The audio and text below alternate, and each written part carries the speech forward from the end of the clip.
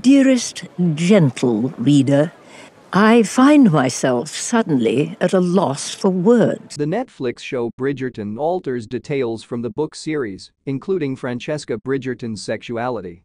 Francesca makes her debut in society during season 3 and meets many suitors, eventually getting married by the end of the season. However, her true love story will occur much later. The Netflix series changes Francesca's sexuality from the books, which surprises avid readers. In the Bridgerton books, Francesca weds John Stirling, similar to what happens in the Netflix series. Regrettably, two years following their marriage, John tragically passes away due to a sudden rupture of a brain aneurysm at their residence in Scotland, as documented in When He Was Wicked, the sixth installment of the Bridgerton series. Francesca, who experienced a miscarriage immediately after her husband's death, grieves for around four years before feeling prepared to enter into another marriage. Subsequently, Francesca returns to London and re-establishes contact with Michael, John's cousin, who she discovers has harbored deep affection for her ever since their initial encounter.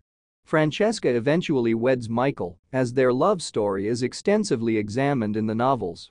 According to the information available to readers, Francesca's sexual orientation in the books is portrayed as heterosexual, as she has only been involved with men. However, it appears that this will alter in season 3 of Netflix's Bridgerton. A multitude of individuals who had perused the book were astounded when they witnessed the introduction of John's cousin in the second part of the third season of Bridgerton. Contrary to expectations, John's cousin is not a guy named Michael, but rather a woman named Michaela Stirling.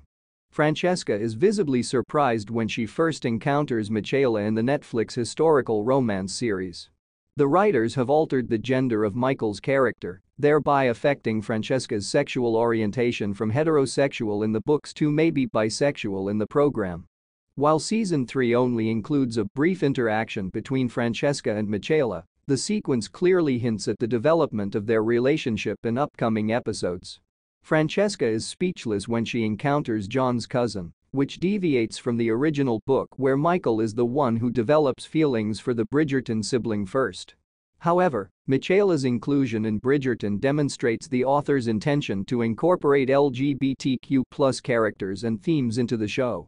Francesca, along with the recently announced bisexual Benedict Bridgerton, has been selected as the series' LGBTQ representation.